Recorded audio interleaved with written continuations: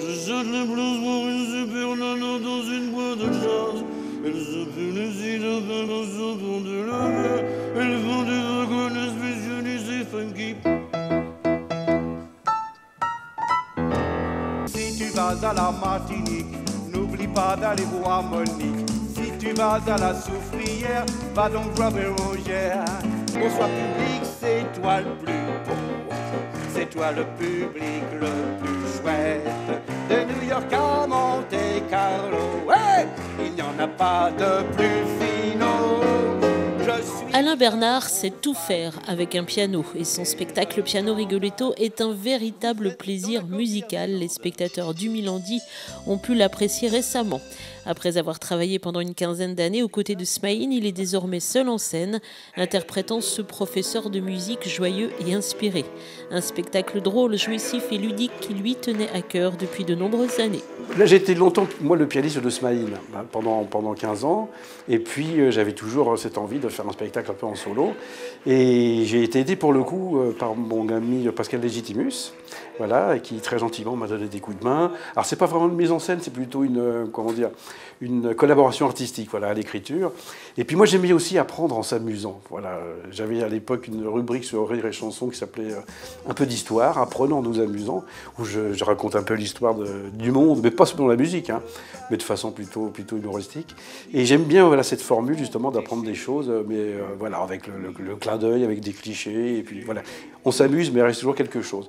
Donc j'ai voulu faire ça avec la musique, et puis petit à petit, c'est venu, je me suis documenté, puis, et puis ce qu'on fait aussi, c'est que je parle des métiers de la musique des métiers de la musique.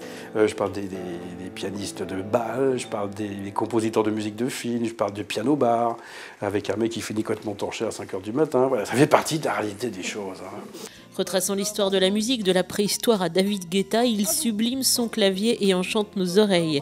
Et si être seul en scène l'effrayait au départ, il a depuis apprivoisé ce nouveau rôle.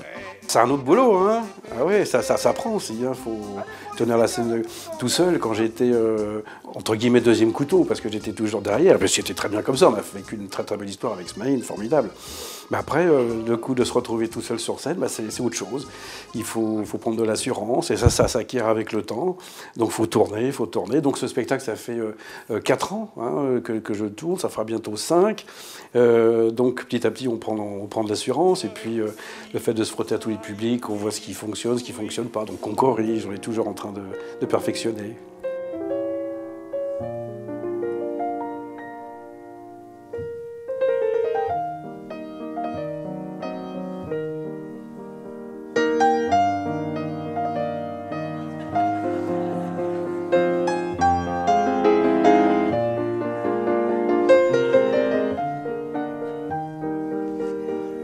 Sera repris plus tard.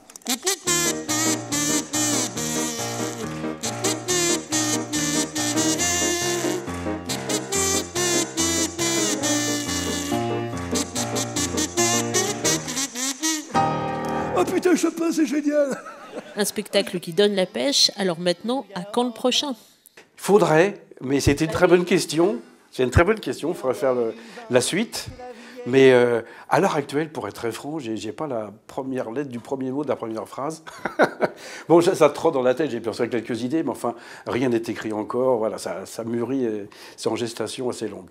Ça va doucement. Mais il va falloir prévoir, la suite, c'est sûr.